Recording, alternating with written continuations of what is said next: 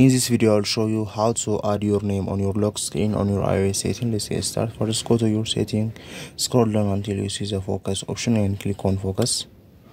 Click on focus and click on the plus icon in the top right corner. After that click on custom and enter your name here.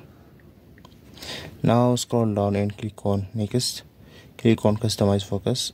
After that scroll down or swipe down to your navigation menu or control center and click on focus and click on your name.